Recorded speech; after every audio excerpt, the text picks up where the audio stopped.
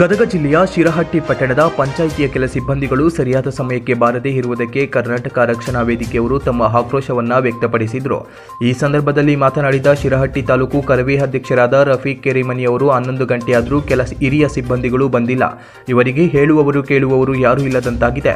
ಸಾರ್ವಜನಿಕರು ತಮ್ಮ ದಿನನಿತ್ಯದ ಕೆಲಸ ಕಾರ್ಯಗಳಿಗೆ ಕಾಯ್ದು ಕುಳಿತುಕೊಳ್ಳುವ ಪರಿಸ್ಥಿತಿ ನಿರ್ಮಾಣವಾಗಿದೆ. ಇಲ್ಲಿರುವ ಸಿಬ್ಬಂದಿಗಳೇ ಮನೆಹಿಷ್ಟೆಯಂತೆ ಬರುತ್ತಾರೆ, ಹೋಗುತ್ತಾರೆ. ಹಾಗಾದರೆ ಮುಖ್ಯ ಅಧಿಕಾರಿಗಳು ಏನು ಮಾಡುತ್ತಿದ್ದಾರೆ? ಮೊದಲೇ ಶಿರಹಟ್ಟಿ ಪಟ್ಟಣ ಅತಿ ಹಿಂದುಳಿದ ತಾಲೂಕು ಅಂತ ಹಣೆಪಟ್ಟಿ ಕಟ್ಟಿಕೊಂಡಿದೆ. ಇಂತಹ ಕೆಲಸಕ್ಕೆ ಬಾರದ ಸಿಬ್ಬಂದಿಗಳಿಂದ ಅಭಿವೃದ್ಧಿ ಎನ್ನುವುದು ಮರೀಚಿಕೆಯಾಗಿದೆ.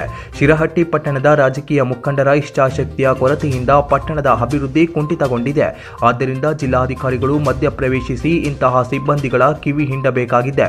ಮುಂದಿನ ದಿನಮಾನಗಳಲ್ಲಿ ಸಿಬ್ಬಂದಿಗಳು ಸರಿಯಾದ ಸಮಯಕ್ಕೆ ಬರದೇ ಹೋದರೆ ಕರವೇ ವತಿಯಿಂದ ಉಗ್ರ ಹೋರಾಟ ಮಾಡಲಾಗುವುದು ಎಂದು ಎಚ್ಚರಿಸಿದರು. ಈ ಸಂದರ್ಭದಲ್ಲಿ ಶಿರಹಟ್ಟಿ ತಾಲೂಕು ಸಂಚಾಲಕರಾದ ಸಂಜೀವ್ ಎಂ. ಪೋತ್ರಾಜು ಪ್ರಧಾನ ಕಾರ್ಯದರ್ಶಿ ಈರಣ್ಣ ಭಾಗ್ಯವಾಡಿ, ಕಾರ್ಯಾಧ್ಯಕ್ಷರಾದ ಕೌಸಾಸಾಬ್ ಕಾಲವಂತ, ನಗರ ಘಟಕದ ಅಧ್ಯಕ್ಷರಾದ ಮನುಸೂರ್ ಮಖಾಂದಾರ್ ಮುಂತಾದವರು ಉಪಸ್ಥಿತರಿದ್ದರು.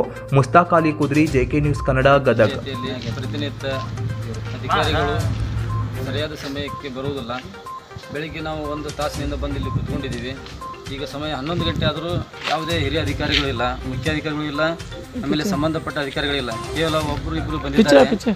ಆದಷ್ಟು ಬೇಗನೆ ಇದನ್ನು ಸರಿಪಡಿಸ್ಕೊಳ್ಳಿಲ್ಲ ಅಂದರೆ ಮುಂದಿನ ದಿನಮಾನಗಳಲ್ಲಿ ಕರ್ನಾಟಕ ರಕ್ಷಣಾ ವೇದಿಕೆಯಿಂದ ಪ್ರತಿಭಟನೆಯನ್ನು ಮಾಡಲಾಗುವುದು. ಆದಷ್ಟು ಬೇಗನೆ ಅಧಿಕಾರಿಗಳು ಎಚ್ಚೆತ್ತುಕೊಳ್ಳಬೇಕು ಇಲ್ಲಾಂದರೆ ಮುಂದಿನ ದಿನಮಾನಗಳಲ್ಲಿ ಹೋರಾಟವನ್ನು ಮಾಡಲಾಗುವುದು.